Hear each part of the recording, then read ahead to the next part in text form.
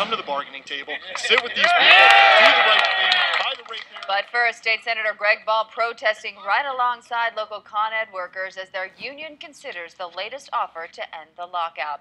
News 12's Lisa LaRocca is at the Con Ed Service Center in Valhalla for us this afternoon with more on that show of support and what's next. Lisa.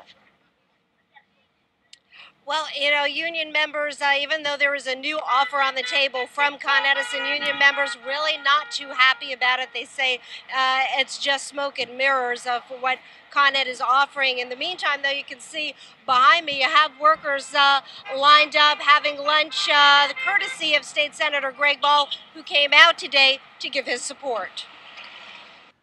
They abandoned the people that needed them to bring these people here to do our jobs.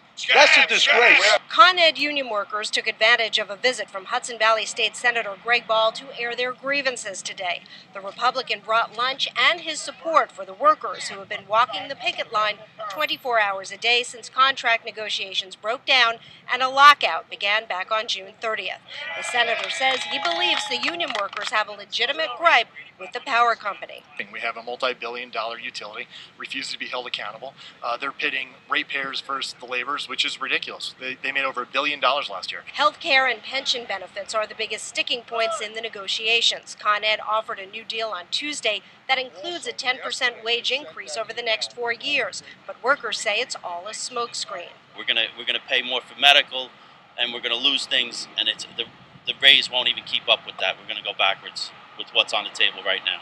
Meantime, Senator Ball says he hopes by coming to the picket lines it will pressure more Albany lawmakers to get involved. And I think as a Republican state senator in the majority coming out here today, it's going to raise some eyebrows, and I hope some Democrats at the highest levels will wake up and force management to do the right thing by these blue collar people.